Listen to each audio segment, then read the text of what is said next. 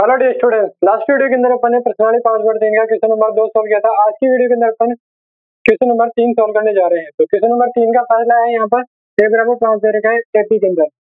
D बराबर formal का दे रखा है अपने को तीन और एनओ का दे रखा है पचास का अपने ज्ञात करना है।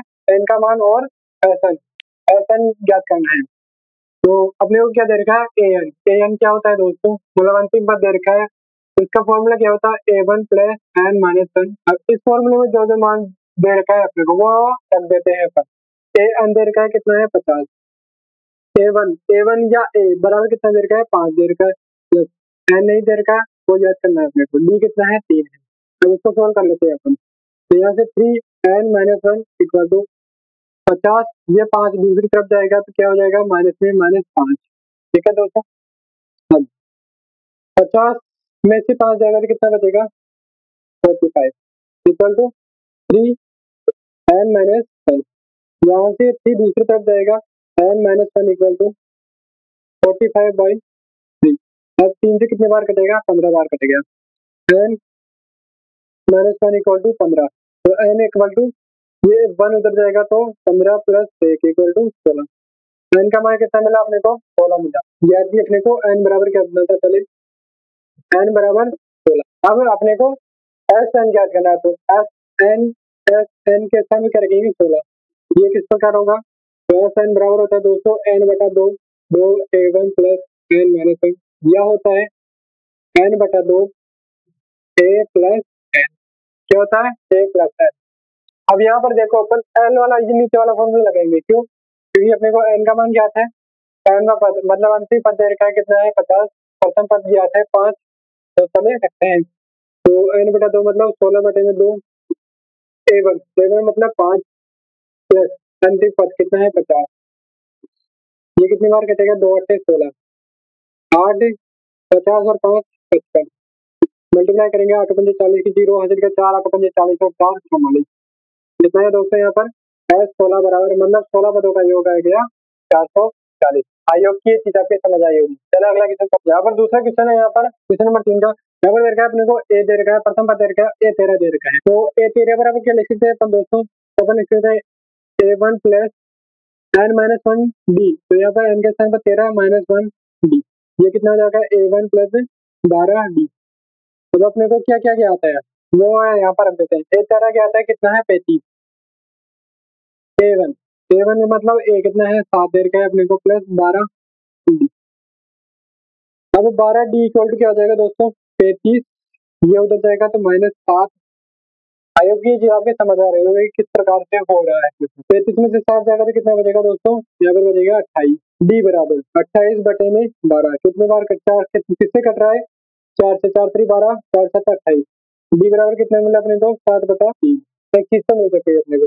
अब अपने को एस तेरह याद करना है। तो एस एन बराबर क्या होता है दोस्तों? एन बटा दो a one plus l l होता है अंतिम पद, क्योंकि अपने को क्वेश्चन के अंदर अंतिम पद ही दे रखा है तो अपन अंतिम पद से कॉल करेंगे।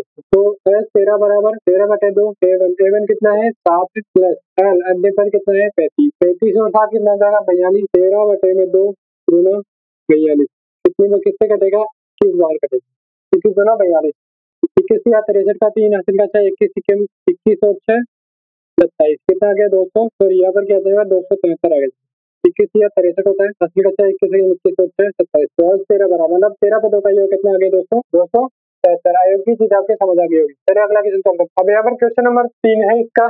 तीसरे का तीसरा। ए बारह मतलब बारह का दे रखा है। अपने को चारों तक दे रखा है। डी और अपने को क्या करना है। ए वन या ए और एस बारह। मतलब बारह पदों का योग ज्ञात करना है।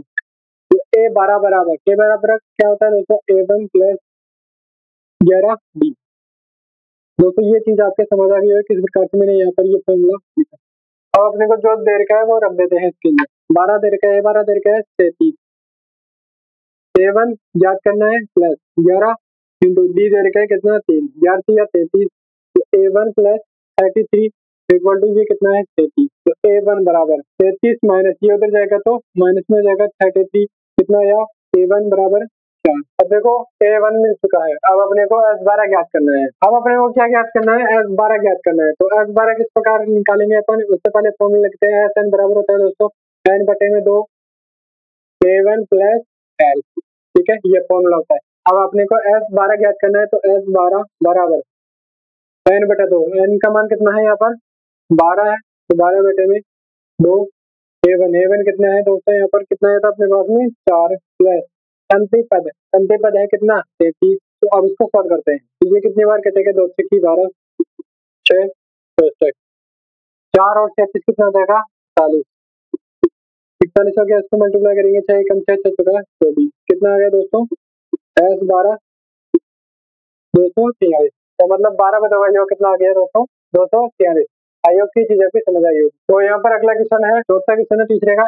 तेसरी दे रखा अपने को पंद्रह और दस मतलब दस पदों का योग दे रखा है, एक सौ पच्चीस अपने को दसवा पद और चार तक ज्ञात करना चले ज्ञात करते हैं। थ्री बराबर क्या लिख सकता हूँ मैं दोस्तों? ए वन प्लस दो बी, ये लिख सकता हूँ। अब यहाँ पर मैं मान सकता हूँ जो दे रखा है अपने को का तो ए थ्री दे रखा है पंद्रह बराबर ए वन प्लस दो डी इसको मैंने नाम दिया समीकरण नंबर एक। इसी प्रकार अब यहाँ पर दे रखा है एस दस। दस दस कितना दे रखा है? एक सौ पच्चीस। और एस दस मतलब एस एन बराबर कितना होता है? एन बटे में दो। A one two a one plus n minus one ठीक है दोस्तों, ये होता है। अब यहाँ पर इसके सामने एक और फॉर्मूला होता है। एन बटे में दो ए वन प्लस एल तो मैं दोस्तों, यहाँ पर मेरे को अंतिम पद ज्ञात नहीं है तो मैं फॉर्मूला ये वाला लगाऊँगा। ठीक है ना दोस्तों? तो एस दस बराबर कितना जाएगा? दस बटे में दो दो ए वन प्लस दस माइनस वन डी ये कितना जाएगा दो पंजे दस दस दस बराबर देर का एक सौ पच्चीस। बराबर। पाँच, दो, ए वन प्लस नाइन ये पाँच से कटेगा कितनी बार? पच्चीस बार।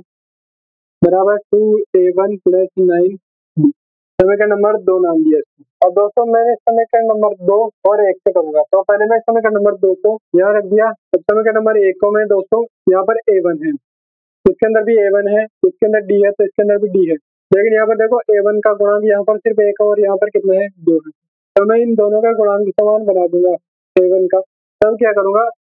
समान बनाने के बाद में मेरे को सिर्फ़ एक ही टर्म मिलेगा और इससे मैं आसानी से निकालूँगा सोल्यूशन तो यहाँ पर समीकरण नंबर एक को, समीकरण नंबर एक को दो से गुणा करने पर, गुणा करने पर वो समीकरण नंबर दो में से घटाने पर। मतलब पहले तो दो से मल्टीप्लाई करूँगा इसको, फिर उसके बाद में इसको घटा दूँगा समीकरण नंबर दो से। तो इसको दो से मल्टीप्लाई करते हैं। तो क्या हो जाएगा? तो पहले इसको तो लिखते दो a one plus nine d ये तो है समीकरण नंबर दो। अब ए वन मतलब समीकरण नंबर फ़र्स्ट को पहले दो से गुणा करेंगे। तो दो से गुणा करेंगे तो ये हो जाएगा दो ए वन प्लस दो इंटू दो डी कितना हो जाएगा? चार डी बराबर। पंद्रह को दो से मल्टीप्लाई करेंगे, पंद्रह दुना अब इसमें से घटाएँगे। तो मैंने जब इक्वेशन पढ़ाई था बताया कि जब भी अपन घटाते हैं तो नीचे वाले समीकरण के जितने भी पद होते हैं सभी के चिन्ह क्या हो जाते हैं चेंज हो जाते हैं। यहाँ पर ये सभी क्या हो जाएँगे, ऋणात्मक हो जाएँगे।